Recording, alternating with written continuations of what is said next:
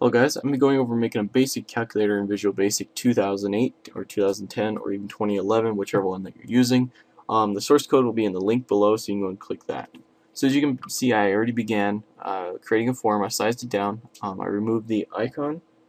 I changed the name. I disabled the maximize button. I added two text boxes, a label, and four buttons. Now I added the plus, minus, times, and divide. If you're looking for this symbol here, I'll have it in the description below. You just copy and paste it and it should be fine for you. So to begin, we're just going to double click on the plus button. Now you can see at the top, I already added um, a couple values. Now basically you need to create two integers uh, for each text box. So dim int1 as integer and dim int2 as integer. So these are going to be for text box 1 and text box 2. Now we need to check if the text boxes are blank. So now to do that, we're just going to do if text box 1 dot text equals nothing or text box 2 dot text equals nothing equals nothing then now we just hit enter it's going to add an end if. So now we're just going to do a basic message box a message box and then we're just going to do an open parenthesis and we're just going to type in something like uh, please insert a number now, if you really wanted to, you could split off that text and or that code and create two separate events. Um, it's just going to be simpler right now if you just do one. Um, but I mean, if you really wanted to, you could. So that's just going to check if each one is blank. If, if one is, it's not going to allow it to go on. So now what we need to do is we need to just hit enter.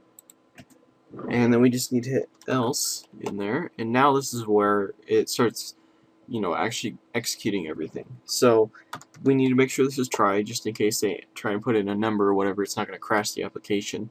Um, so the try is going to be, uh, let's see, we need to set the integer. So we need to do int 1 dot, or equals, sorry, equals text box 1 dot text, okay, and int 2 equals text box 2 dot text. Okay, so now we've set up the integers. Now we need to actually do, um, you know, the addition here. So I'm just going to hit one more. We're just going to do label 1 dot text equals, and now we're just going to do, and then we need to do the and symbol. The and symbol there. Okay, and now we need to just simply um, add int 1 plus int 2. And make sure you type it right. Alright, so now when we go to playlist, if I hit, let's say I put in G, now A, it's going to tell me that it's blank. Okay, so it's not going to go any further than that.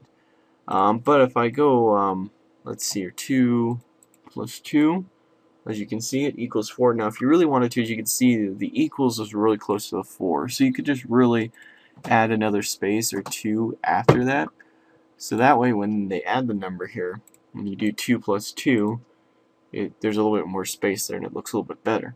So now we should add some, if you want to add a message box or something in here, you can. So MSG box uh, invalid number. I'm not worry about spelling. Uh, now if I go ahead and do this, if we put uh, G plus 2, let's say, it's going to say invalid number. So it's as simple as that. Um, now we're just going to basically copy and paste this code to the other buttons. Um, I'll be back when I'm done with that and I'll explain the code here in a second.